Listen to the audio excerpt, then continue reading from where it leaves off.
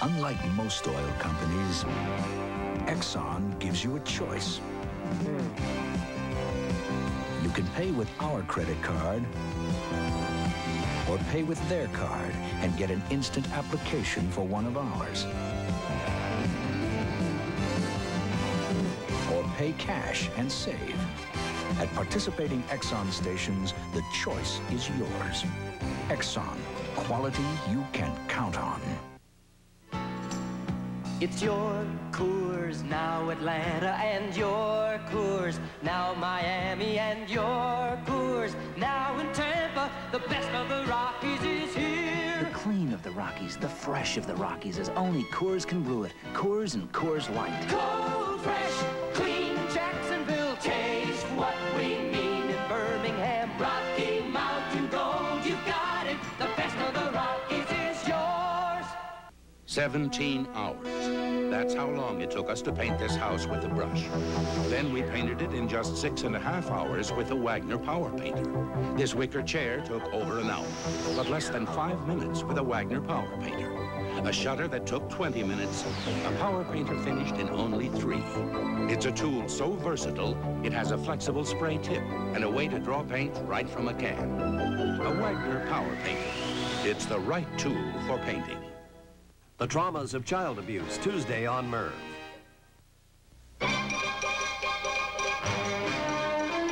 The World Tonight. Now here's Jim Brosmer. Good evening, everybody. 29 Haitians who tried for freedom in the United States are in custody tonight at the Krome Avenue Detention Center. 21 men, five women, and three children say they came on a rickety sailboat lashed together with rope. Lawmen doubt that the craft made it here all the way from Haiti, and passengers didn't look as though they'd spent two weeks in an open boat. The craft was stopped about 100 yards off North Beach in Hollywood, and everybody was rounded up. Having a Coast Guard cutter stationed close to Haiti has cut down on the number of these incidents. Nick Bogut reports on that. Coast Guard ships began patrolling the Windward Passage northwest of Haiti about a year and a half ago.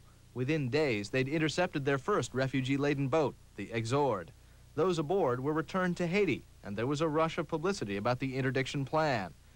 But in the year and a half that that plan has been in effect, there have been only eight such interceptions reported and only 216 Haitians have been turned back by Coast Guard cutters patrolling refugee routes. Immigration officials argue that those are not the important numbers. We went from 1980, 15,000 people, to 1981, a little over 8,000, to 1982, a little over 100. And so I think that you can say it's been an unqualified success in terms of stopping smuggling. It seems that the main effect of all of this enforcement of all the immigration laws is a deterrence. But some Haitian activists here say that deterrence has been overrated. They heard about the Coast Guards, all right? But uh, you must understand the determination of the people. And if there were boats available in Haiti right now, you will have more and more trying to escape. There is general agreement that the Coast Guard has stopped scenes like this. Huge boats bringing in large numbers of refugees direct from Haiti. Two years ago, one boat might bring in 130 refugees. Now Jean-Juste says that many Haitians arrive here each month, while the government claims that's a year's total. But those trying to sneak into this country now are more likely to do what these men did last month, try to slip in on board a commercial ship, a few at a time, often through a third country like the Bahamas or Puerto Rico. The interdiction effort has almost certainly made it more expensive to come to our shores illegally. Two years ago, Jean-Juste estimates passage from Haiti would have run 50 to $100. Now it can cost from 2,500 to $3,000 per head. Nick Bogert for The World Tonight. From Fort Lauderdale tonight, Jim Dyer reports on promises to people who invested in precious metals. With hundreds of investors charging rip-off, Florida's Attorney General has ordered the International Gold Bullion Exchange in Fort Lauderdale to change their gold sales practices or face legal action. The firm's president says everything is legal, but his three-year-old company has suffered from growing pains. Everybody's saying they can't deliver, they can't deliver, they can't deliver. But as time goes on, they're going to see us deliver, deliver, deliver, deliver, deliver, deliver, deliver. Okay, so finally, a minus has to turn into a plus. Because now they'll say, hey, they ran into a traffic jam, they're a big corporation, they grew too fast. The brokers took too many orders, wrote up the orders, put them to the shipping department. The shipping department couldn't get them out on time. So we ran into that traffic jam, a log jam, call it what you will. Point is, when we come out of this, we're going to prove to the world and everybody, that everybody got their medals. And if they couldn't wait for the medals, I'll give them a refund. Argus Ferguson of Tennessee has filed a federal lawsuit to recover $80,000 that he invested in a silver deal last February. But Alderdice says Ferguson and hundreds of other unhappy investors will get their money or their medal by Wednesday of next week. Jim? Well, it was two and a half months late, but a beautiful launch of the new space shuttle nonetheless. Challenger carries four astronauts tonight, and they chatted with the president a little bit earlier. In a few minutes, they'll launch a new satellite into orbit. It'll be the world's biggest orbiting communications center. Despite the spectacular launch, 20 years of spaceflight is apparently produced. It convenes tomorrow to take up issues that will affect us all. Lawmakers will be asked to raise the drinking age from 19 to 21. And the governor, who wants to spend about a billion dollars in the next two years to upgrade schools, is asking for $250 million in new property taxes to pay for it. Some legislators say there are other places to look. It's in conflict with what we did last year in reducing property taxes. In addition to, it, it, diminishes the commitment to increase state support of public education. Corporate income tax is a state tax source. It would maintain our commitment for the state to pay the bill for education. The governor says getting that money for education is the legislature's priority this session. The World Tonight continues with some important news in cancer research. In my hometown, there's this bar called the Firefly. It's where all the real men hang out. My sister and I'd call up and pick a name. Hi, Mike. How you doing, baby? Any way we could get together. Sure is. I got a white Chevrolet and I'll be sitting on the hood. Well, Mike, you're still waiting. Calvin Klein jeans. Hang in. My sister and I get better every day. America, you don't know it yet, but this summer on Pan Am. You're going because we cut our fares. They're lower than last year. You're going because now there's no excuse not to. It may be London. Or Paris. Or Rome. But you're going to Europe this summer on Pan Am. Because you can't beat the experience or the price. America, I guess we're going. You can't beat the experience. When the city moved to Boca Raton, I moved to the city. When the city moved to Palm Beach, we moved to the city. All the smart money's moving to the city. City Federal. City spans the country with every financial service. Money market accounts, loans, tax shelters, pension fund management, term insurance, discount brokerage services, and more.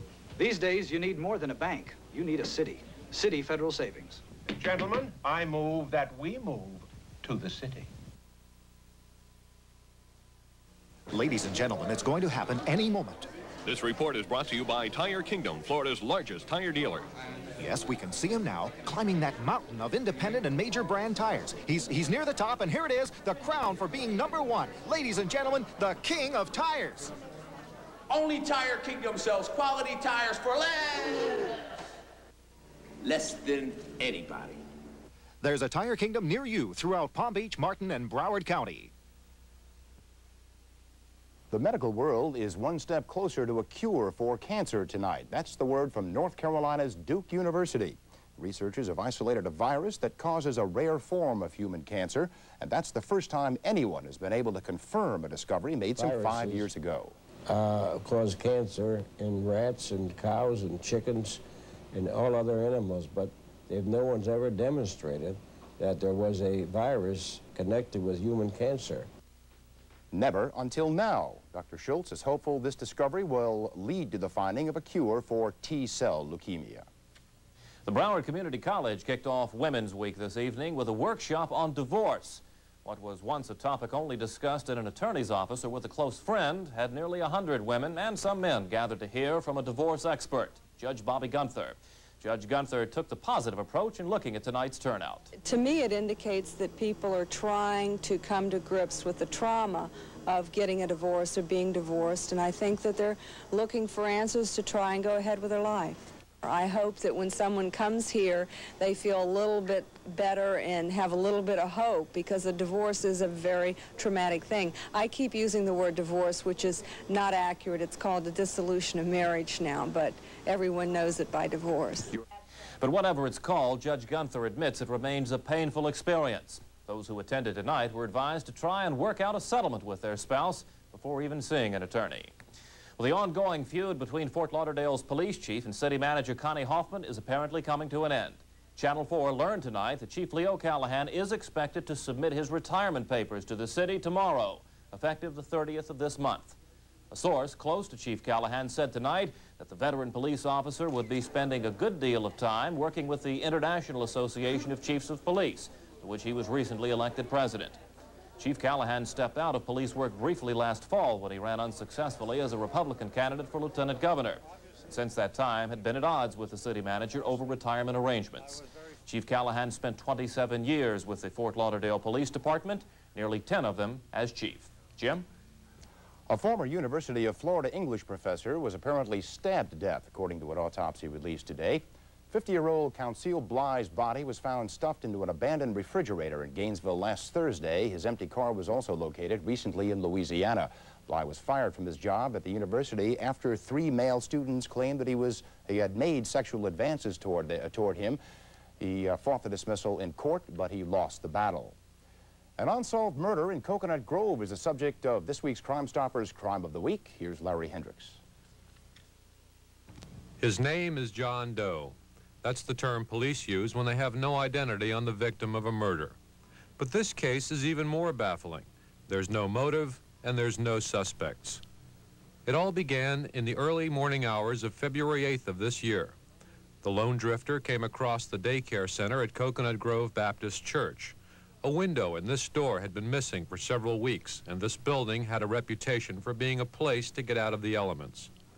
Sometime between midnight and 3 a.m., apparently while John Doe lay sleeping, he was viciously attacked and repeatedly beaten in the head with a piece of baseball bat-sized pipe. The following morning, his battered body was discovered by the church pastor and his wife. After long hours of going over facial photos, City of Miami police lab technicians were able to come up with this composite. John Doe is described as between 17 and 24 years of age, 5 feet 11 inches tall and 175 pounds. He had brown wavy hair and green eyes. On the day he was murdered, he wore a gold V-neck velour pullover, beige pants, and sandal-type shoes. From a witness report, the man may have been seen in the area of the church earlier in the evening about 7 p.m. An auto accident had occurred in the Grove and traffic was rerouted past the daycare facility. Police are looking for anyone who may have seen or heard something that can bring this mysterious homicide to a close. Here's what you can do to help. If you have information on this or any other crime, you can call Crime Stoppers at 326-TIPS in Dade County, 765-TIPS in Broward. Your information will remain confidential, and you could earn up to a $1,000 reward. We'll have a look back at the Youth Fair. That's coming up right after we check with Bob Weaver about a surprise out west. Years ago, luxury cars began a tradition that persists to this day. What does this do? Why, nothing. You see, it's a symbol. Thus was born the luxury oh. car's preoccupation with prestige, except for the BMW 733i. We place engineering before ornamentation. Our status symbol is under the hood, not on it. Contact your BMW dealer for a test drive of the new BMW 733i. At the dawn of history, man ran, primarily for his health. Je suis fini! But he could revive himself at the spring we now call Perrier. C'est un miracle. Today, man has discovered the joy of running and the sparkling reward of naturally salt-free Perrier, Earth's first soft drink. And Monet created bracelets, textured bangles, bold cuffs, woven wristlets, so you could select your look. And Monet created necklaces, dramatic collars, hammered links, delicate chains, so you could define your look. And Monet created earrings, polished buttons, sculptured clips, dazzling drops, so you could express your look from the classic to the unexpected. Monet creates the jewelry, and you create the look. When things start to fall apart and the day gives you a slap in the face, even the simplest things seem to go wrong. You get frustrated, tense, all wound up. Turn to WLYF and unwind with our easy, relaxing sound. Listen, and enjoy life's little pleasures. WLYF, a beautiful place to be at FM 101. She reigned as the queen of Hollywood's golden age. She was the glamour girl of silent films. Gloria Swanson died in her sleep this morning. She was 84. Perhaps best known for her role as a fading movie star in Sunset Boulevard, Friends, she said, was a star that never faded. Although her life was full of controversy, including six marriages, she says she never got caught up in being a celebrity. I'm remembered, I want to be remembered as I really was, and by the people who knew me well, not who imagined I was what they saw up there or the image they wanted to give me. And God knows I haven't been that good to have received all the blessings I have. Every morning and every night I say thank you, God, but I wish you'd somehow explain to me why. Gloria Swanson, dead at the age of 84. A uh, nice weekend uh, for the most part in South Florida. I guess a few showers, uh, what, Saturday night, but uh, clear sailing the rest yeah, of the time. it turned out just right because uh, by sunrise it was all gone, and uh, Sunday turned out to be a beautiful day. And right now, the weather pattern's changing a little bit. I think we're going to have many more days of nice weather. Let's take a look at the current information, and then we'll look at the entire weather picture. 72 in Miami, 72 Miami Beach, 73 Fort Lauderdale, and 73 at West Palm. The barometer 3007 rising, humidity 82%. The winds out of the east at 12, and the temperature of the water 74 degrees. All right, here now is a quick look at our radar picture. Now, as we look at that, uh, let me just tell you there's very little around at this time. There are a few showers right offshore. You can see them there, and that's about it. Over the next couple of days, the most you will have is a few widely scattered showers around. On the satellite uh, picture, the old front now is well offshore. There's a little bit of it left over the New England area. That's about it. But as you see in the west, there's a good deal of weather all through that area. Here's uh, some uh, uh, replica here, if you can see, of what uh, heavy snow all through that area. This section right here continues to move towards the east. What is different, and I'll show you as we get to the national map, is the fact that this storm system that is well to the south is pumping moisture up to the north. They're having good deal of heavy snow all through this area. If you'd like to see what it looked like today, here it is. They had winds of about 40 or 45 miles per hour, snow and blowing snow, visibility down to zero. Around uh, Kansas, they had over uh, 12 inches of snow. Sections of New Mexico, 14 inches of snow. The winds did quite a bit of damage all through that area. And uh, even though they're trying to clean up now, some sections are still having snow. But by tomorrow, there's a chance of improvement because all of the snow will change over to rainfall through the center sections as temperatures start to climb. But this area now, as we place it for tomorrow, notice the difference here. Usually, these storms have been moving along the south and coming across Florida. The upper air pattern now has changed. The track of the storm has changed. So some of these storms now that usually would have come across Florida are taking a path more to the north, and so it looks like at least for two or three days we should have nice weather without a major storm moving through. 40s through the north. The rainfall will come to Ohio, Indiana, Illinois, Kentucky, Tennessee, into the south. Over the eastern areas, about one more day of sunshine. 60 at New York tomorrow, 70 at Asheville, and 75 at Atlanta. But by time Wednesday rolls around, all that will become increasing cloudiness and some scattered showers. And then for South Florida, we'll have partly sunny skies for the next couple of days. Down to the Caribbean, it was generally sunny. Temperatures were in the 80s most everywhere today. And on this date in history, in 1978, a famous American poet quit writing poetry. He said, rhyme doesn't pay. Okay, let's take a look at our forecast now. That's a thumb sideways, and partly sunny and warmer. The low overnight, 65 to 70. See, what's one of the uh, areas that we are getting into now with the change of the upper air pattern, temperatures are climbing. The high tomorrow will be about 82 degrees, the sea's two to four feet, and the waters near shore will have a moderate chop. And that's the weather. Thank you, Bob. The 1983 Youth Fair appears to have been a tremendous success tonight. All the totals are not in yet, but if attendance is any indication, Mark Trank says the fair was a winner. The youth fair began to pack up this morning after 18 days of neon lit rides, thousands of exhibits, and hundreds of free shows. A record-setting 760,916 visitors passed through the turnstiles at the fairgrounds, a figure slightly under the projected attendance mark of 800,000.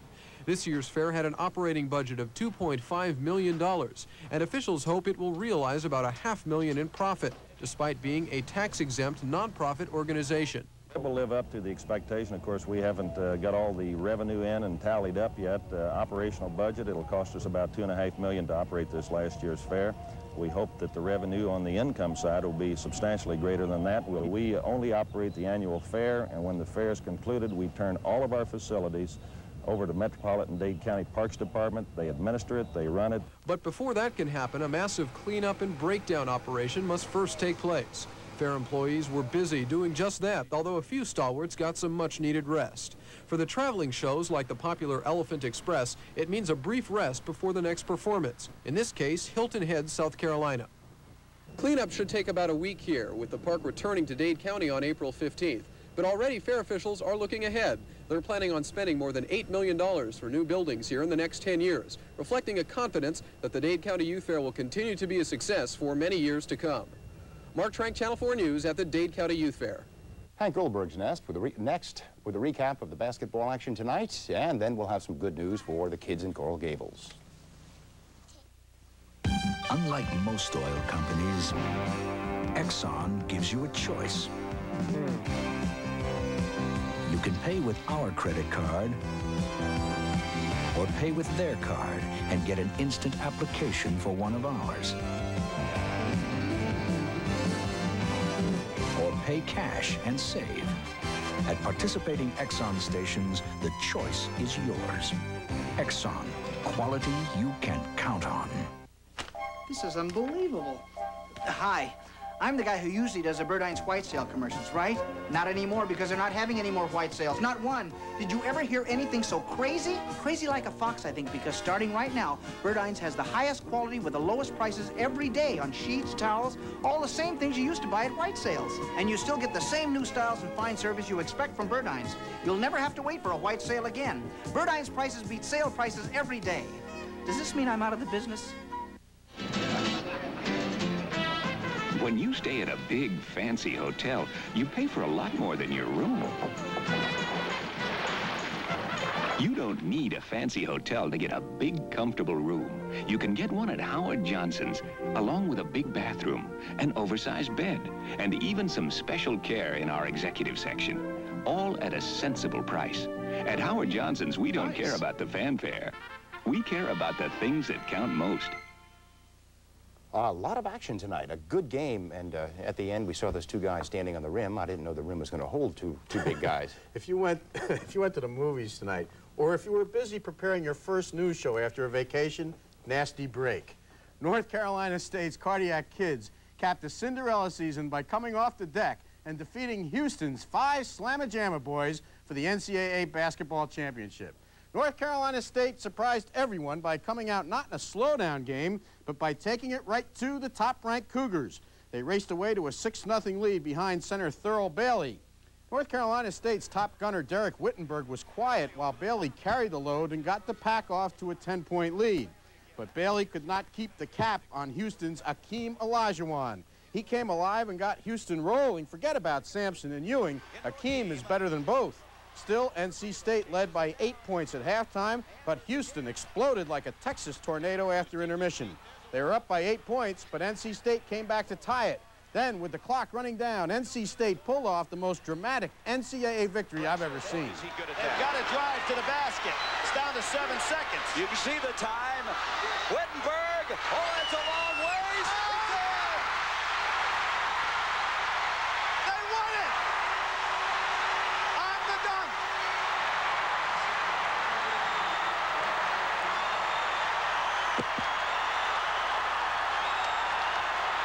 That stuff by Lorenzo Charles gave NC State a 54-52 victory and the title.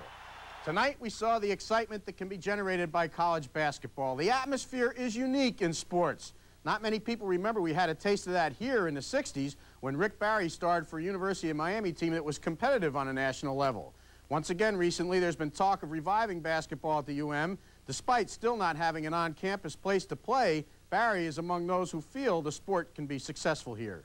If the program is run properly, uh, this is a great place to recruit people to come to. I know it was easy to sway me coming down even without a, a nice facility. Although the one thing I did miss was not having that, not having that school spirit that you see at so many other universities. Mm. If they had that, it, it, it, would be great for the university as a whole, for great, great experience for all the student, students. And I think it would, uh, it would be, able, they would be able to compete on the national level. We did, mm -hmm. and we didn't have a, a, place right on campus or a really good facility to play. And I really think that the recruiting aspect it would be a very easy one to get people to come down. And uh, if they have the right people down here, it can be a major, uh, a major competitor in uh, college basketball without question within three to five years. Nice lid, Rick. Here's some big news for the University of Miami football program. Their 1983 finale against Notre Dame in the Orange Bowl has been switched to Saturday night, September 24th. It will be televised nationally by CBS. Opening days, a term that only applies to baseball. Adults and kids alike spend most of the winter thinking up excuses so they can play hooky from work or school to be on hand for the ceremonial first ball, except in Cincinnati, where for the first time in 11 years, Riverfront Stadium was not sold out. But for you frustrated opening dayites, Mr. Director, play ball. 10,000 empty seats in Cincy today, where baseball's worst team of 1982, the Reds, hosted one of last year's best, Atlanta. The Braves won 13 straight to start the 82 campaign, and they got off to a 3-0 lead this afternoon after Chris Chambliss launched a two-run space shuttle off Mario Soto. Cincinnati has a new left fielder this season in rookie Gary Redus, who makes a spectacular catch to rob Glenn Hubbard. Hello, Wall. Redus has to learn the wall is harder than his body. I think he did. That hurt him, but seemed to revitalize the Reds. Gil Aranoster parked a Phil Niekro pitch in the seats with Johnny Bench on board in the second inning. Atlanta got one of those back in the sixth, but Redus, who had a great premiere, shows he can hit as well as field with this homer off Niekro. Cincinnati ties it up in the sixth inning on Bench's single, scoring Davy Concepcion from second. Then in the bottom of the eighth, Concepcion gets the big hit with two out a single to right center, plating Eddie Milner with the deciding run, and the Reds go on to win it 5 to 4. In Baltimore, a sellout crowd of 52,000 turned out for the Orioles' debut under new manager Joe Altobelli. Kansas City came out of the box with a run in the first when Dan Ford dropped Amos Otis's fly ball. Tied 1-1 in the third, George Brett delivered a two-run homer off Dennis Martinez. Willie Aikens and Jerry Martin homered later on, and the Royals spoiled the day for Baltimore with a 7-2 victory. And tonight, Texas beat Chicago 5-3. Cleveland and Oakland just getting started.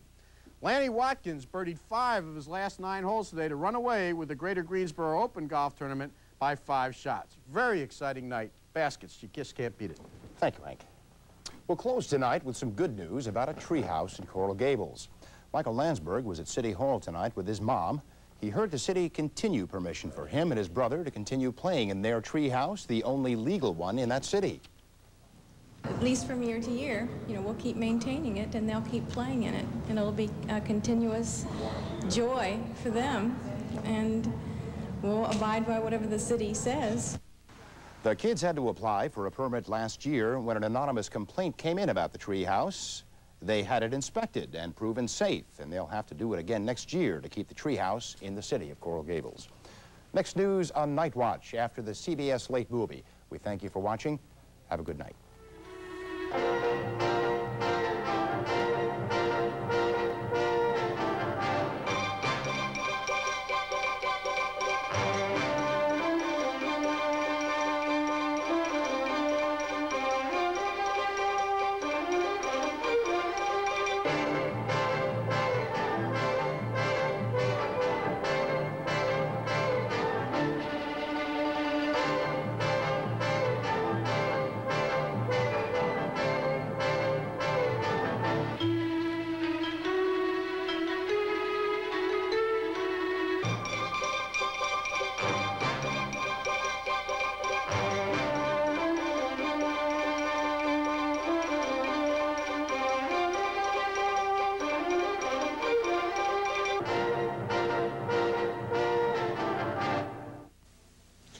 Nature's wonderful.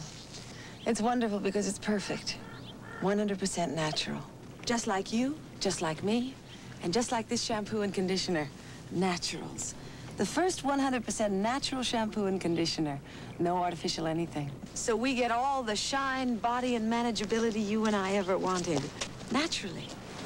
Naturals from Nature's Organics Plus. It's 100% natural, 100% you and me.